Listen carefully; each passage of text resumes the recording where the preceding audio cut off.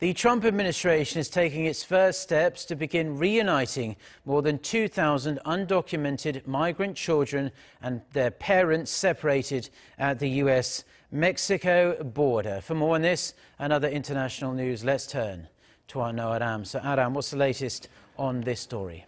Well, uh, President Trump said Thursday that he had directed the Departments of Justice, Homeland Security and Health and Human Services to work on bringing together the separated families. It's a first step to implementing his policy reversing executive order, which states that migrant families entering the United States should be detained together.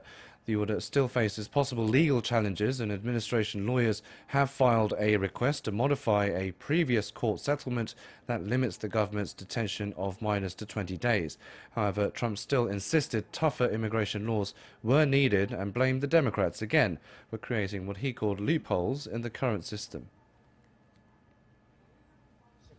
But the only real solution is for Congress to close the catch and release loopholes that have fueled the child smuggling industry. The Democrats are causing tremendous damage and destruction and lives by not doing something about this. And they know that. They know that better than anybody up there with a pen. If we don't close these loopholes, there is no amount of money or personnel in the world to address the crisis. A very serious crisis. His comments came as his wife Melania made a surprise visit to a border detention center in Texas.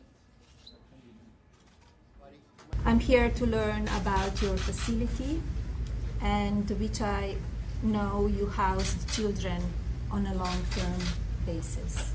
And I also like to ask you how I can help to these children to reunite with their families Uh, a, as quickly as possible. However, her trip was immediately thrown into controversy after she was seen wearing a jacket with the words, quote, I don't really care, do you?